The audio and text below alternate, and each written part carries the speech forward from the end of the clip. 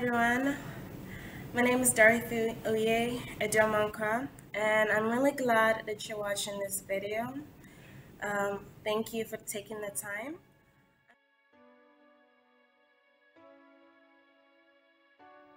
When I blink, the tears overwhelm, threatening to drown me.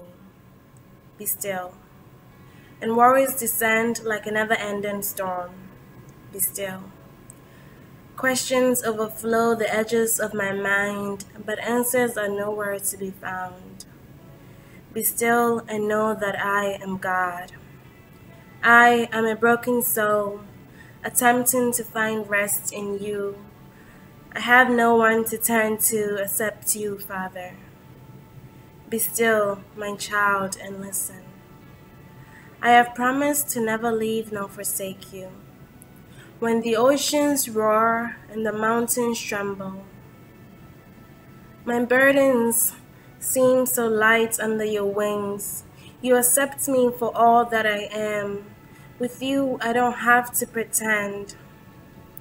Be still, and you will hear my voice. Calm the waves and comfort the earth.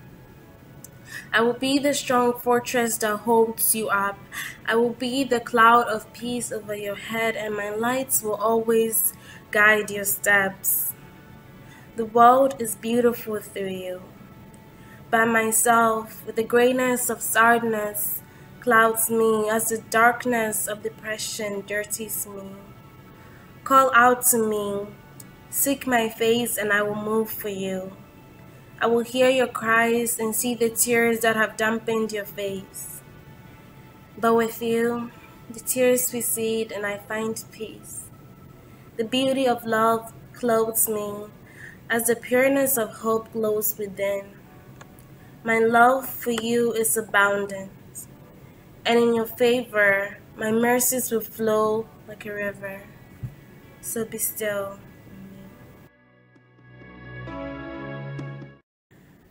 This poem doesn't have a visual because I felt it very necessary to see someone read it because it's a poem that stems just from an experience that I had with dealing with just a lot of pressures from school, from family, just from a lot of things. And so I thought it would be very more, it would be more personal if I read this poem aloud. So Thank you so much for watching. I hope you enjoyed it. And um, like and subscribe below. And I'll be uploading more videos soon. Thank you.